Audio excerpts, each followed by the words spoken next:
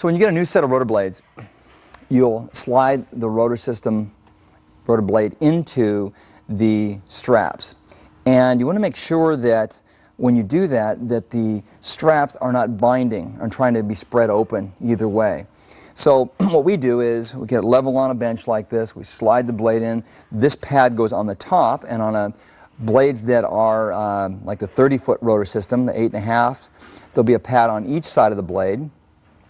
On the uh, 7 inch chord blades, there'll be no extra pad.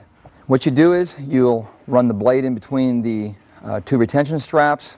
Uh, you push the bolts from the bottom to the top. You can use a drift pin to help align. Do not pound them through. You want to rotate them. You don't want to wreck the threads. And we put our um, cotter pins in line like this and centrifugally so they're pushing this direction. You'll use a torque wrench to tighten it down to the proper values. And you can work from the root outboard to tighten it up. You wouldn't tighten here and then here. You'd go here, here, and here, and here to tighten it up. These rotor blades are designed so that you don't have to string the blades when you assemble them. When you get these from the factory, do not remove these fasteners.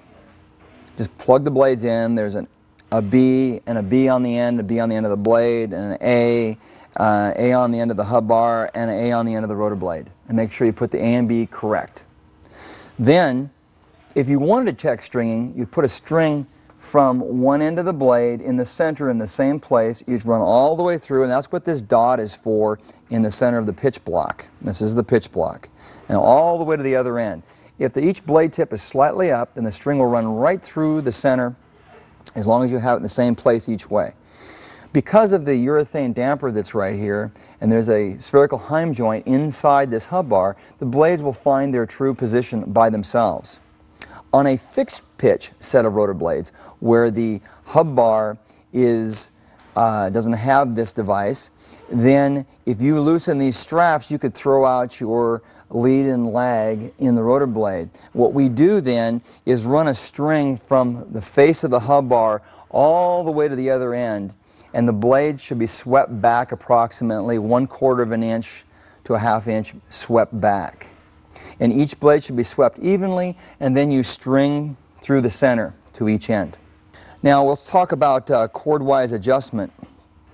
This blade runs on this barrel right here, this block, and this is between the towers. So if we tighten this side and loosen this side, the whole rotor blade then will rotate like this and like that.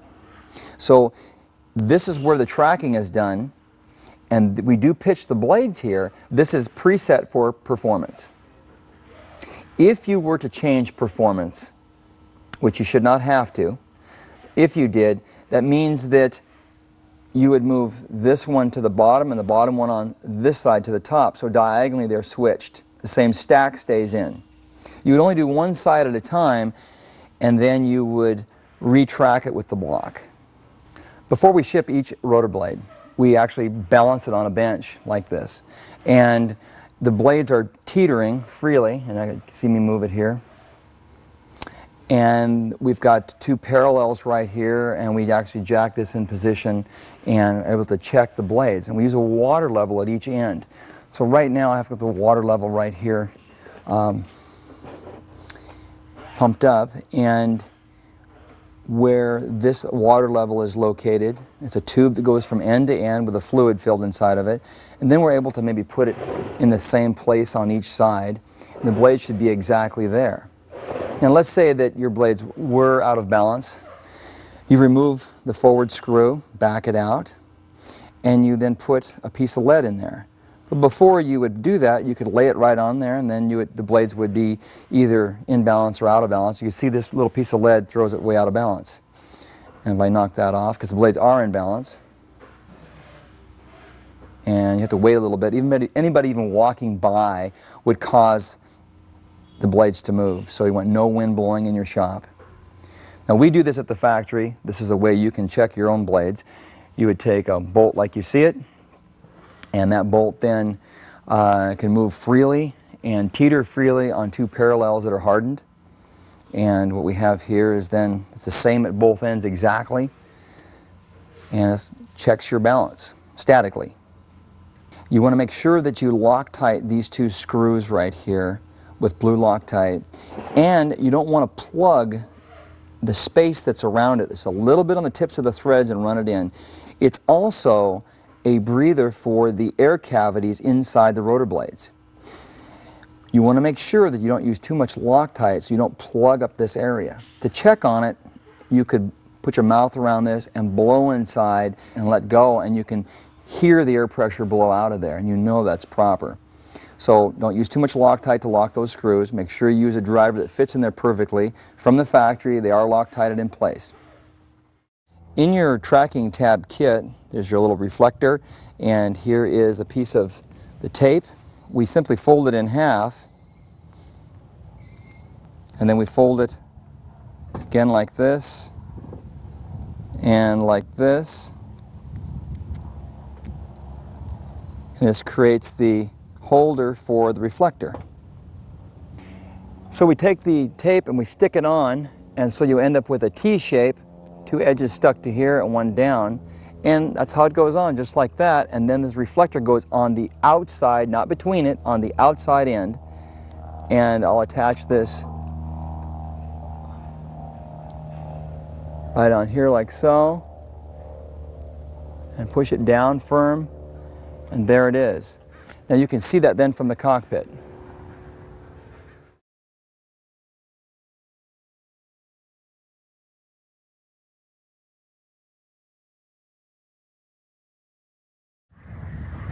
You can see one's high and one's low. A little darker in the day, you can see it better. So you've got a situation where well, red high or white high gives the adjustment and measuring it with a dial indicator. So with the dial indicator on here, it goes to the center and you can pick this up at, at any tool store. They should sell this, a dial indicator and a mag base, and I'm clamping it on the hub bar. The blades can teeter freely because we're on the center of the teeter bolt or just off to one side. Now when I make an adjustment, the blade rotates this way, tighten this side, loosen this side, that's going to draw this up. The block, the block stays with the towers, and then the blade is rotating. This will give you a measurable amount. On a big blade like this, if you see one inch, big blade meaning this is a 30 foot blade, and if you see one inch out at the tip, it's 10 thousandths of an inch adjustment to be able to adjust that. 10 thousandths total. So You'll tighten this side, you'll loosen this side. You simply can put end wrenches on and reach underneath and hold it and give it tension. And move, I move approximately about a flat or two and loosen the other side and make sure you're snug. You can also check it with a torque wrench to make sure you're at proper values. So 10 thousandths on a 30 foot blade, on a 25 foot rotor, you'd see a 5 thousandths adjustment 5 thousandths of an inch, that's just that much of an adjustment for every one inch of out of track that you are. The adjustment barrel that's in here and the spool that's here, you want them to make contact and you don't want the blade to have any end play. On this bearing system or even a washer system, thrust bearing or thrust washer, you want to make sure there's only maximum of one or one and a half thousandths of play in that area. This system allows you to adjust it completely where there's no play at all.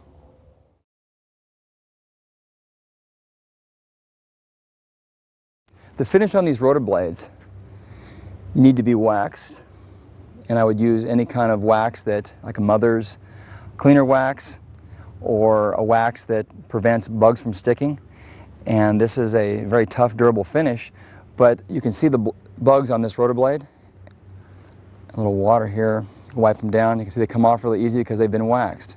So you want to make sure that your rotor system is always clean and free of debris and bugs for best performance.